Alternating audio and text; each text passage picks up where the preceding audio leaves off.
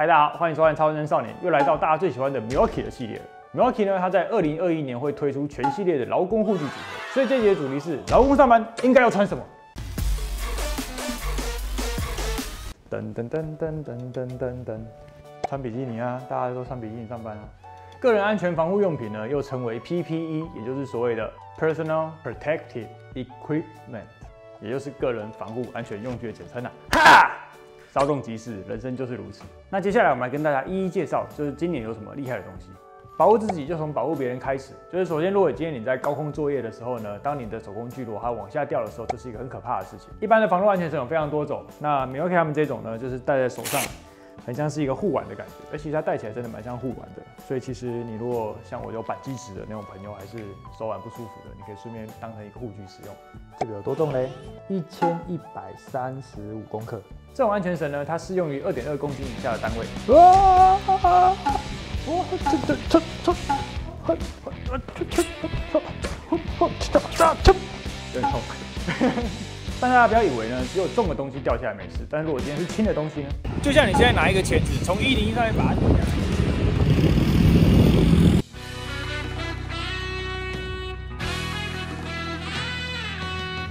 一零一的总高度是五百零八点二公尺，一个钳子是三百一十二公克的。我们套入公式零点三一二乘以九十九点八等于三十一点一四 kg 每秒平方，所以总共头部的受力是三百一十七点七六公斤。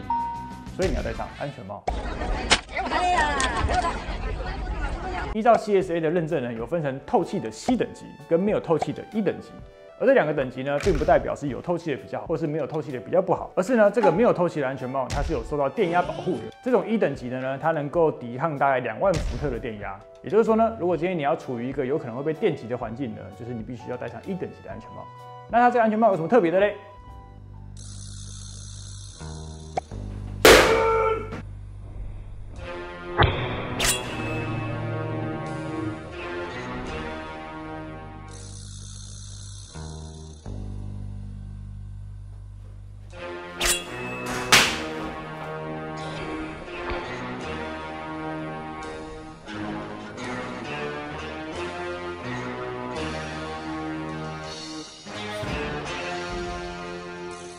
开心啊！不 见了，不见了，我对不起你啊！所以你看，天光的工作都真的很不错。以前我们的安全帽呢，上面都会拉一个细绳，然后像这个灯呢，有没有模组化扣上去？感觉有没有 socket？我们最喜欢看起来这种合身的东西，越合身感觉越舒服。然后你就按一下，它就可以打开了。叮叮。这个上面呢，大概有一个一段、两段。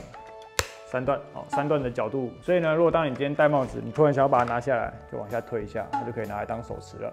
唯独比较可惜的是，里面是装那个三颗三 A 的电池哦。如果现在是 USB 充电的话，那就更棒了。那旁边呢，这边有一个夹麦克笔的地方，当你夹在耳朵的时候，你可能在工作的时候会被这绑带用到，所以呢，你就可以夹在它安全帽上面的这个袋子。兄弟们，咱们砸山洞嘞！你可以在工地里面看讲稿啊。在工地里面输赢啊，在工地里面找零钱啊，这样会不会黄标吗？应该不会吧。找零钱不会啦，找零钱，找零钱有什么好红标的呢？那它里面很小卡称，它里面的绑带也是红色的，然后它的头带式呢是用这种棘轮式松紧的，所以你可以比较快速的穿脱。好，下一个工程反光背心，工程反光背心有什么好展示的呢？我们找一个修哥来教我们怎么摆动作好了。怎么样把工业背心拍得漂亮？这样子的话，我会尽量想要把腿拉长，所以我们可以一只脚是往前，一只脚是往后缩，然后这个时候可以动动背心，就是强调一下我们荧光的部分。然后可以换到正面来，好，这样，一只脚往前伸，拉一边起来到嘴角，对对对，看着镜头，脚就很自然的放开，然后我们可以一只手拉，自然的摆这个呢有分成基本型跟高性能款，然后呢它上面这边有会有写一个 CSA 认证，然后 Class Two 这边的一个标志。可什么是 Clutch Two 呢？就是在时速八十公里以下的作业环境，你可以适合穿戴的。那我现在身上穿的这件呢，就是高性能款。高性能款呢，它里面有十五个口袋，它的背后还是可以放平板的，这样你在山洞里面看 A 片就很好用了。它的领子部分呢，它能够帮助你吊挂防坠落的安全带，拉一下，有没有腰身？有没有看到？大家可能只有看荧幕，所以没办法感受到它的质感。它的本身是用六百 D 的抗撕裂材质做的，所以你那些什么柔爱拔还是一些比较尖锐的东西啊，你塞在里面它都是不会破的。我个人是建议反光背心大家都可以备一件，然后放在车上，不管你今天你是要做工作啊，还是说你出门旅游啊。有时候我们在路上遇到有人车祸，你要下来帮忙的时候，你至少也可以穿个反光背心，保护别人也保护自己。那说到防护用具呢，你当然不得不提的就是防护手套啦。你有没有看到它这个手套的手的形状很逼真啊？他们今年在二零二一年为什么要推出这样子的手套呢？它其实就是因为它在虎口的这个地方，就是有长期跟我们一样戴这种手套的人就知道，最容易破的就是这个虎口。然后再来就是你拿一些工具啊，或是你在焊一些大锤的时候啊。就是这个地方它的摩擦是最多的，所以他们特别在加强了你这个虎口的位置。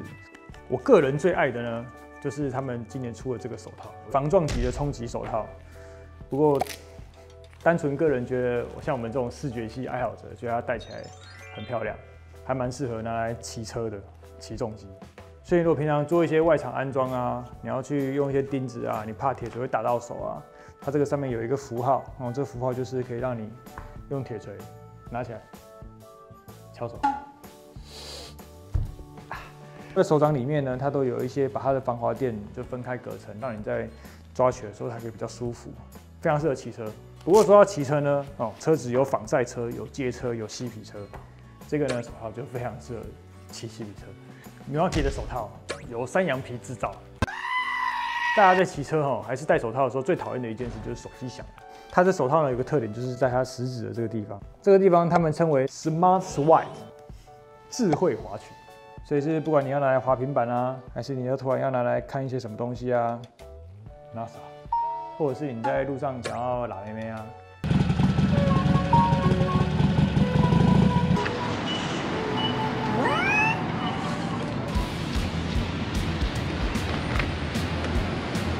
然后他们一样在手套的打板的板材的设计上也会有一些比较不同。他们这个地方呢称为 Keystone，就是它能够帮助你在手部的伸展啊，或者是你在抓一些工具的时候啊，那个就是第一个帮助它的使用的耐用度，然后第二个就是帮助你的手的舒适，就是小细节，不过正常人都不太会发现。好，拿出来抽奖送给大家。当然啦，他们也有出口罩，他们也有出耳塞，非常适合这个圣诞节的气氛哦。它的耳塞就是连里面都是红色的。We wish you a merry Christmas, we wish you a merry Christmas, we wish you a merry Christmas and a happy New Year。哎，助理，收一下，拍片嘛，大家帮忙一下。好了，不然我们抽奖送给大家，大家自己来我公司捡好吗？最后一种，二零二一年诺奇推出最新产品——安全眼镜。为什么一个安全眼镜要分这么多包装跟这么多种类呢？来，首先大家可以分成两大项，一个呢是有色的，一个是无色的。有色的，有色的呢适合你在户外上面使用；无色的呢，你适合在室内空间或者是在一个比较没有这么亮的地方，你可以平常会佩戴。有色无色分完之后呢，分别成你需要什么样的冲击程度，可以把它分成第一类、第二类跟第三类。上面的包装上面看到有一个 ANSI，上面有一个数值。而什么是 ANSI 呢？就是美国国家标准协会。所以你今天如果只要是去买耐冲击的工业安全眼镜的话，你上面就是一定要有看到 ANSI 力八七点一的这个标章，它这就是符合经过测试过，能够真的保护你耐冲击的眼镜。另外这两个，它一样有一个力八七点一 Plus。就是上面有加，但是它多了两个标章，叫做 military，美国军用战斗护眼系统，军用级别镜片。就是战场在美军里面呢，你所有戴的护目镜都要经过弹道碎裂测试。而他们的眼镜呢，还有另外一个特色，也就是不会起雾的特色，一个 anti fog 或者是 fog free，就这样子的东西呢，它都是能够保证工作的时候不起雾，吃火锅的时候也不起雾，泡澡的时候一样不起雾。太烫了。而在它今年推出最高阶的安全眼镜呢，它旁边这边有一个缓冲垫。这个缓冲垫呢，它可以拆起来，像这样子，就可以拆出里面的小软垫。卡瓦班嘎。因为呢，每个人的脸型它都是不太一样的，所以平常来说，你如果是戴这种第二款的护目镜的时候，你的鼻梁到你的眼眉的这个地方，它其实是有空隙的。所以呢，有的时候你在操作一些比较细微的东西，或者是比较可能会有喷溅的时候，你就可以把这个软垫扣上去。然后像这样子，你的上面跟你的脸颊颧骨的这个地方，它就比较不会有细碎物的东西跑进去。然后嘞，在它这个最高阶的包装里面，还有送了一个小套套，价钱反映在套套上。也就是说呢，大家拿到一个新的眼镜，上面的包装盒呢，上面写的每一个编码跟每一个系数，大家都可以很认真的去看。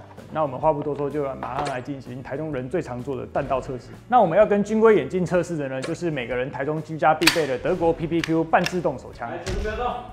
使用好的工具可以提升工作效率，穿好的防护用具才能让你的身体平安健康。喜欢我们的影片，记得订阅、留言、分享、开启小铃铛。分享的时候，同时写下阿仔师的越狱方式，我们将会选出幸运的观众，送你很棒的防护用具哦。拜拜。